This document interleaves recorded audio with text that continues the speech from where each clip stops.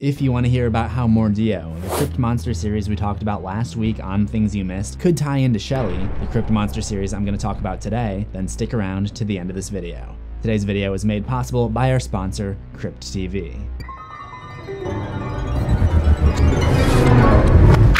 The first episode of season 2 of Shelley has just come out, and as with all of Crypt's 2019 productions, it's part of a greater universe. There are little clues hidden throughout about how this all fits into the grand story that each of these series make up. But before we get into my theory about how Shelley season 2 fits into this universe, let's take a quick look back at season 1. Season 1 takes place 20 years after the 1998 graduation at Avon Manor High School, where an introverted floor hockey athlete hangs by the neck at the graduation ceremony. The story follows Nix, Lauren, and Heidi, three bullies who picked on Shelley and other girls back in the day. At the reunion, Heidi fires an insult at a girl named Celine by bringing up her old nickname, Blobby. Lauren excuses herself to go use the bathroom, where she has a flashback of them bullying Shelley, calling her Silent Shelley, and tightening the tie around her neck. Gonna talk now? Huh?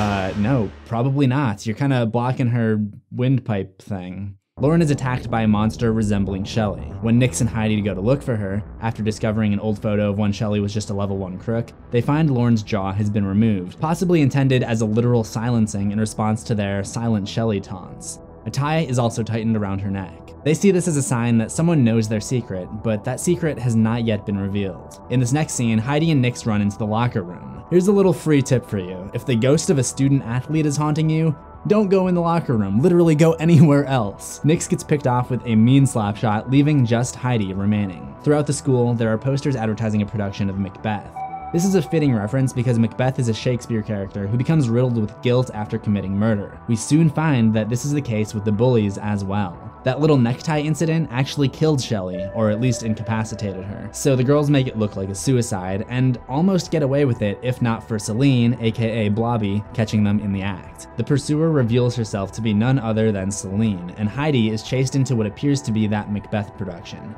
She almost gets away, but there's a second killer, the real Shelley, who finally gets her revenge. Hand in hand, we see that Celine and Shelley have matching bracelets, and there's a little post-credit scene hinting that in season 2, Shelley is gonna target the school's staff. That's where this theory takes off, with this symbol in the school administration's office. It appears to be a ripped out page of the book, The Crypt Tome, which is a manual for men to turn themselves into monsters that appears in several Crypt series. This symbol in particular is the emblem seen on the door in the woods, a Crypt Monster Universe short film about a colony sworn to protect the world from a monster known as the Brute. The Brute is basically a level 50 boss. The symbol is seen on the door and on the clothing of everyone in the colony. My theory is that the schools in Shelley are built on the ground upon which this colony once resided. That's right, I said schools, plural.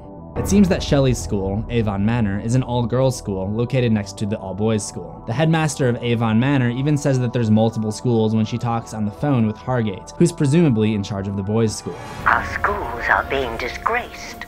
On top of that, in this shot of Hargate's office, there's a picture of the boys' school crest, which is different than the Avon Manor crest. The symbol of Avon Manor is a fox, but this school seems to have a stag, which, interestingly enough, is the animal head of Mordeo. This is a pretty small detail, and it remains to be seen if there really will be any crossover, but it's definitely something to keep an eye on. But there's definitely a connection with the door in the woods, and I believe it has something to do with the bracelet that Shelley recovers from Celine, which is seen to have been originally given to her by this guy, who I would assume is Shelley's boyfriend from the boys' school. The bracelet is seen at the end of the episode giving life to this buried person. Maybe this is the reason that Brute and Shelley are seemingly invincible. This revival ritual, likely taken out of the Crypt Tome, could bring its subject back to life and give them new, monstrous powers. Shelley also has similar themes to The Door in the Woods, with adults trying to keep this ancient power hidden away from the kids and the rest of the world in both stories.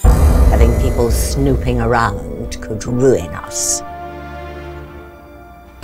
So it would appear that after all this time, the powers in charge of the colony are still trying to suppress the evil that lies within. Let me know what you think of this theory in the comments and any other thoughts you have on Shelley, The Door in the Woods, Mordeo, and anything else that could be connected to the storyline. Of course, you'll want to stay tuned to this entire season of Shelley. Remember to subscribe to Crypt TV for new Crypt Monster Universe videos every Friday. Ring the death bell for notifications, and I'll see you in the next one. Assuming we both survive. Or get brought back.